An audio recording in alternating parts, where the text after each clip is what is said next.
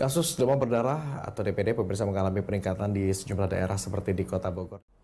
Rumah Sakit Umum Daerah RSUD Kota Bogor, Jawa Barat telah menangani 262 kasus demam berdarah dengue.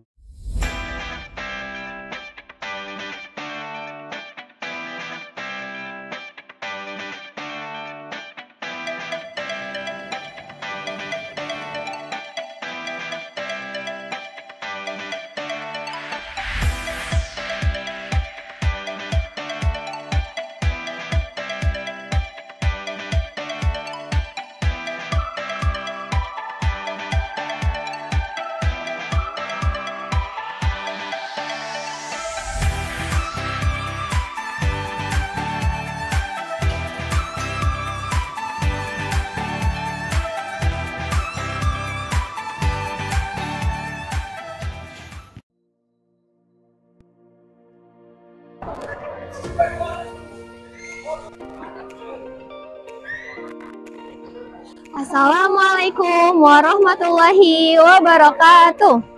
Hi young researchers and honorable judges. We from Bupada team will explain about the research of or the research in the 2024 Presi competition by Abang Academy number 1 with the title Utilization of Kemang Fruit Peel Mangifera Kemanga Bloom as a biolophocyte against Aedes aegypti third instar larva. This research leading by me, Safira Nurma, and my partner, Azelia Sivana Chaniago, and we are from Mandua, Kota Bogor, West Java. The kemang fruit is a tropical fruit native to Indonesia, specifically from the Bogor region. This fruit contains bioactive compounds that have the potential to kill mosquito larvae. This compound can be utilized as a natural larvicide, which is safer compared to synthetic larvicides. The first step in creating a biolarvicide is to collect 1 kilogram of kemang. Next, the skin of the kemang is peeled and dried then is grown into a fine powder and extract. This process involves maceration, followed by processing in a rotary evaporator and a water bath.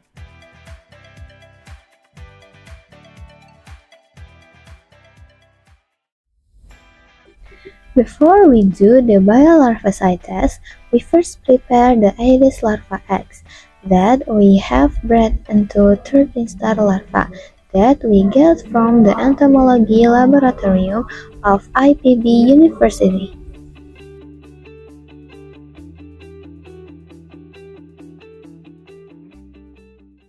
After obtaining the fruit peel extract, the extract was measured at concentrations of 0.5%, 1%, 2% and 3% for the preliminary test, and 6%, 8%, 10% and 12% for the advanced test, which was dissolved in 100 milliliters of water.